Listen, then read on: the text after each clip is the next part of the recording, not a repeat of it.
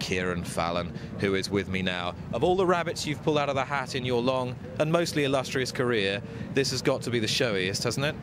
Well, I mean, I've never won this race, and it's, it's always exciting to, you know, you, you, you, you wonder when you don't win them. And um, in particular, races like St. Leger, I haven't won yet. It's a race I'd love to win. But this gave me a, real thrill today. It's a, it's a tough, it's a tough race, and um, especially on the top weight. I think the key to him today was, uh, was a bit of juice in the ground.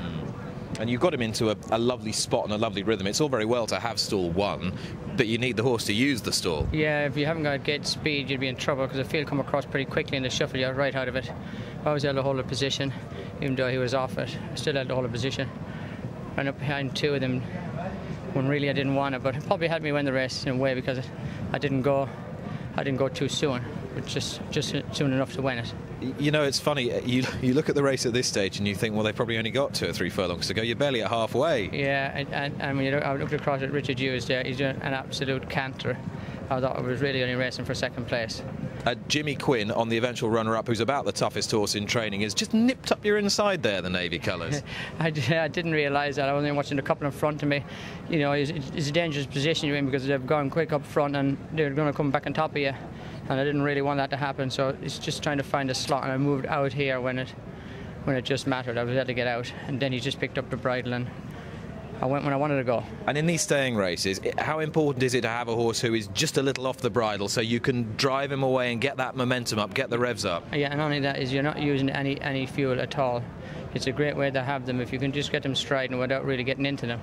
And it wasn't that I run, really run by the tree that I really asked him to stretch and he lengthened for me. And now you've got Jimmy Quinn coming up to your girth.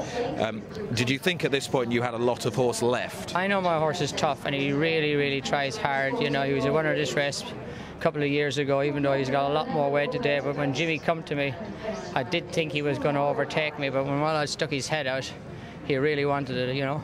Just and just just quietly allowing your horse to intimidate and lean into the runner-up. bit of bit of Fallon tactics well, well, there. I wouldn't have said that. Really, I wanted to stay on the rail. The rail is always worth a length at least here, but he done it well in the end. You know, he, I think he wanted it more than the runner-up. Well, they both uh, run tremendously well and clear of Tominator in third. It looked a strong race going into it too. It was, it was a strong race. You know, there's a Mark Prescott horse in there was strongly fancied.